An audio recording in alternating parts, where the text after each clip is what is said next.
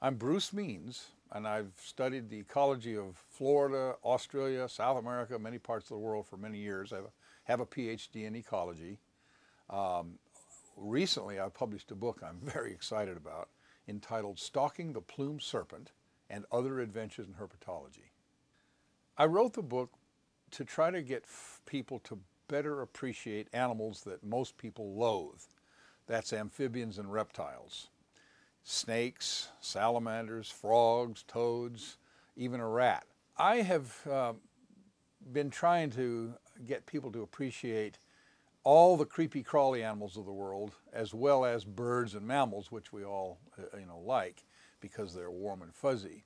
But it turns out the rest of the creatures on this planet are just as interesting and just as worthy of our our interest, and, and especially since many of them are now starting to be threatened or endangered, you know, they need our attention.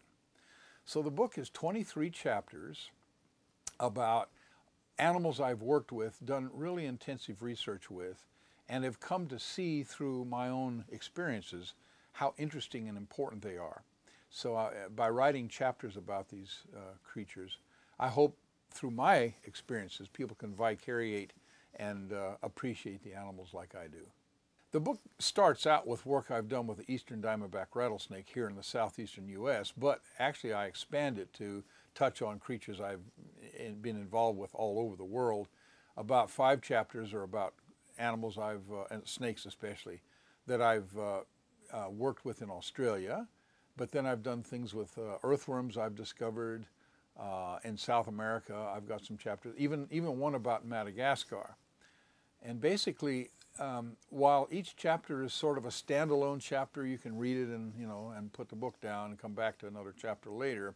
There is a theme through the book, and the theme is basically, as you read these chapters, I'm hoping you'll get to appreciate, whoa, you know, this snake is as interesting as any bird I ever saw, or the earthworm actually is as complicated in many respects as any mammal I ever, ever knew about. So uh, that, that's the whole point of the book, uh, told through my adventures and my research experiences. Scientists, you know, mostly write scientific and technical reports that are very stiff and difficult to read.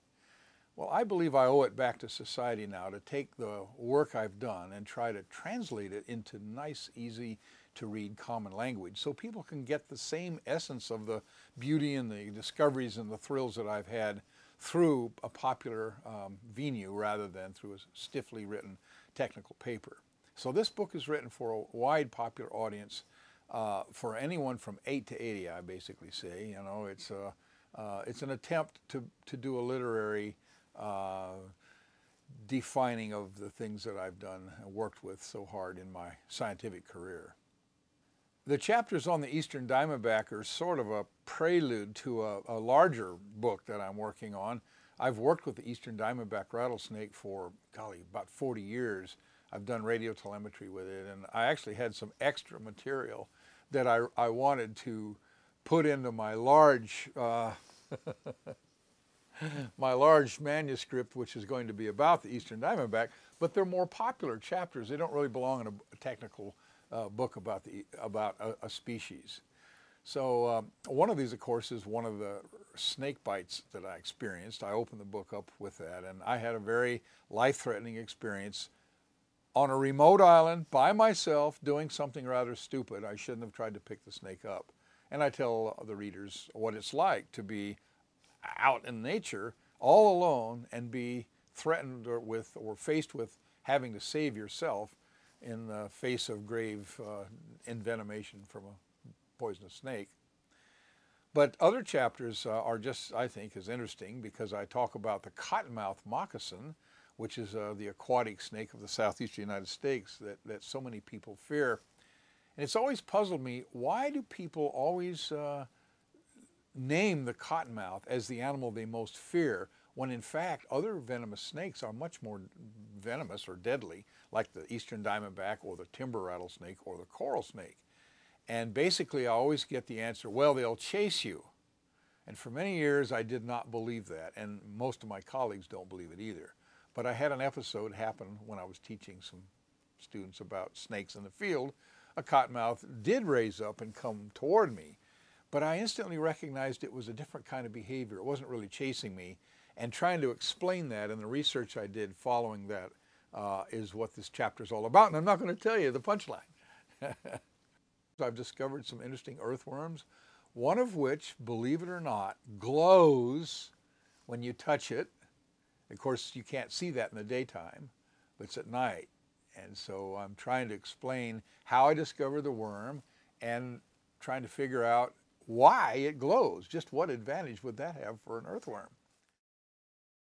My beloved sons uh, and I were on some trips uh, overseas, one of which was in Costa Rica, where we spent a wonderful morning tramping through the rainforests of, uh, of, a, of, a, beautiful Atlantic uh, coast forest to look for the bushmaster, which is the world's largest pit viper, venomous pit viper.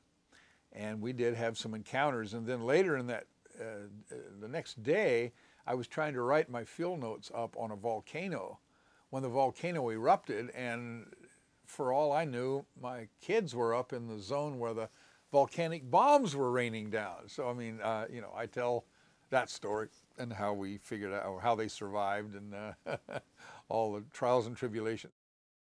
There's a number about Australia.